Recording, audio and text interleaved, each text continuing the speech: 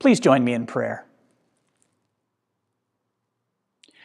Gracious and loving God, help us this day to understand and celebrate your dream for the world, to be transformed in Jesus' love, and to use our gifts to make a difference for others.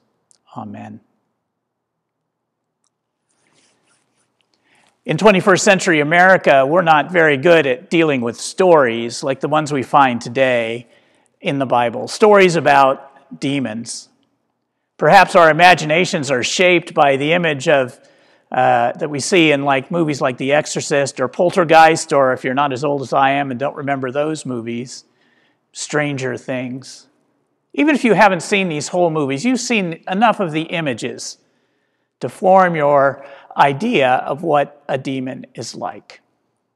So, what do these stories have to do with us? Mark Davis, a biblical scholar I often consult, invites us to think instead of a demon as a cage on the outside of a person that wraps them up. And sometimes the cage is so close fitting that it's even hard to tell the cage from the person. So that's an image I'd like to play with today is the cage. It's not hard for us to imagine being encaged in a time of pandemic, locked in our houses so we don't get infected somewhere else, locked out of loved ones' houses so we don't infect them. We can feel the constriction of what it means to be encaged, if you will. But there are other images that come to my mind. I'm often impressed when I drive around our neighborhoods here in Burlingame or Hillsdale or San Mateo or those other places, how many houses have walls or gates in front of them? Now, I don't know the reason people have walls and gates in front of their houses. I imagine it's a lot of different reasons.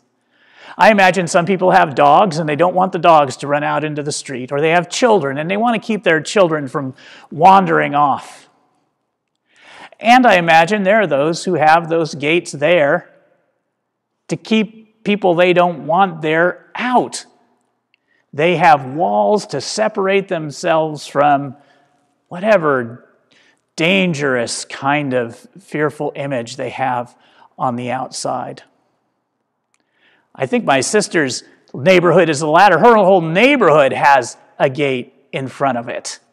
So that it's hard for even family members like me and my family when we go to get past the guard and the gate to get to her house. Well, I don't know what people's individual reasons are. They seem like good reasons if it's for people to keep dogs or kids from running out. But if it's based around fear, and if it's based around a sense of wanting to be separate from the other and what's out there, I can't help but thinking that those gates have become cages. And maybe, maybe that's why the teaching of Jesus elicits such a strong response from the demons, from the cages that surround us. Jesus' teaching takes something that, that's supposed to keep us safe and protect us from the blows of the outside and reminds us that they're cages. And in threatening to destroy the cage, it can feel like he's threatening to destroy us. The good news of Jesus skewers the defense mechanisms and exposes the very things that we think are there to keep us safe. And he exposes them as things that keep us from living, truly living. The presence of Jesus, both his teaching, but his reflection as God's presence in the midst of the people the God of justice and compassion, can seem to shake the very foundations of the social norms that we think make us safe and secure and prosperous. They take the comforting gates of life and expose them as cages.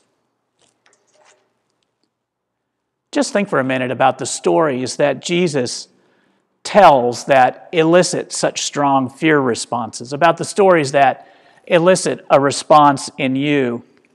Stories that you hear and you think to yourself, Jesus couldn't really have meant that for everybody.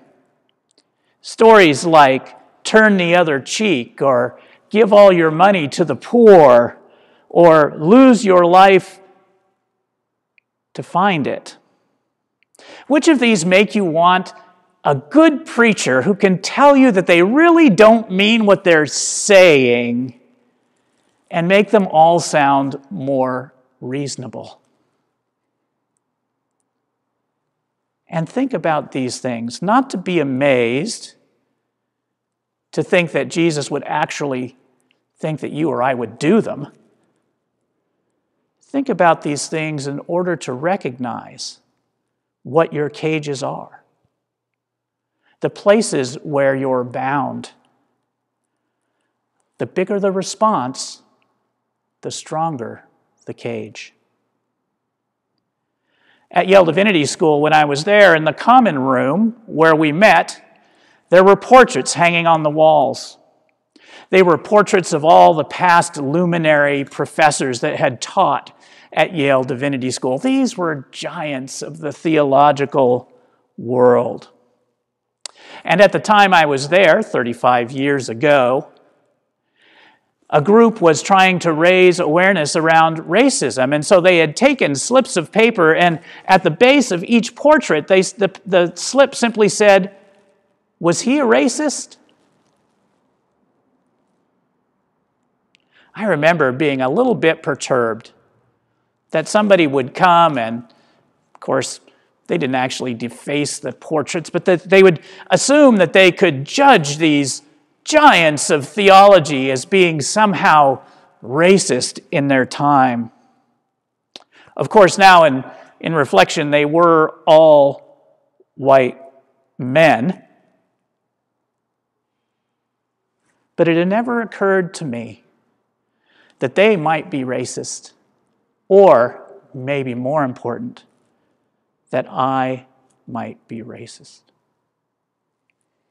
Only now, these 35 years later, do I realize that as a moment, the fact that I just remember it so strongly, as when my cage was rattled. And that as a moment when maybe I was thinking, I know who you are, Jesus of Nazareth. Have you come to destroy me? Have you come to judge me? Have you come to make me feel about myself or feel somehow deficient? The very things that I thought were protecting my self esteem and my image was really a cage a cage keeping me blind to the reality of some of my own attitudes and the injustices in society. I recognize now, 35 years later. This isn't the only experience I've had with my cage. My cage is regularly rattled around issues of money or of gender when I encounter Jesus as he is. Sometimes, like the man in the story, I shriek out, What have you to do with me? Have you come to destroy me? So now I'm imagining demons a little bit differently. What if the person who's wrapped in the demon in this story is the hero? What if he is the only one in the synagogue that day who really understands who Jesus is and what Jesus is about. Jesus is the one who comes not to amaze you with his erudite preaching, but to set people free from the cages that are binding them. People are so identified with their cages, of course, so misshapen by the shape of the cages that then shape them, that his good news, when he comes, can often only seem like destruction.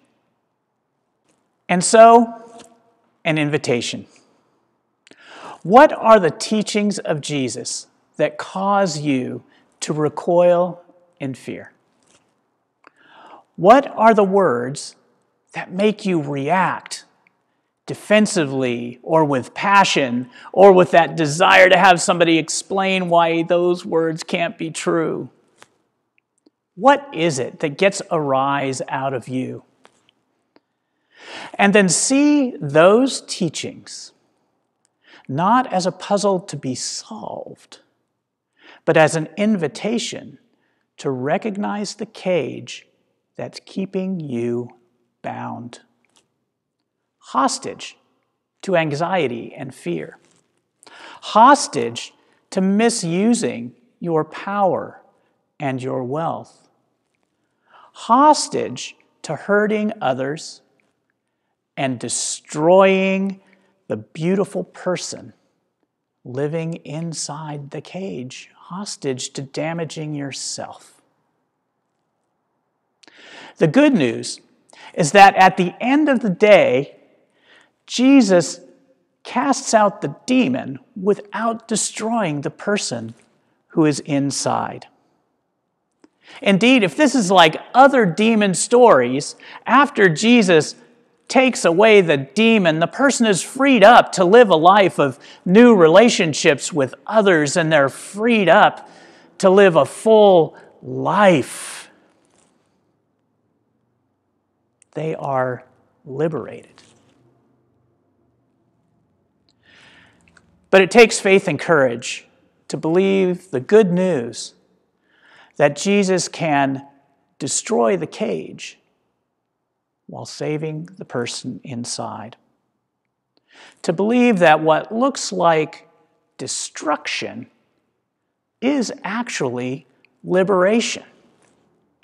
It takes faith and courage to allow love to overcome fear. It takes faith and courage tear down the gates and walls that we think are protecting us. It takes faith and courage to live in freedom rather than fear.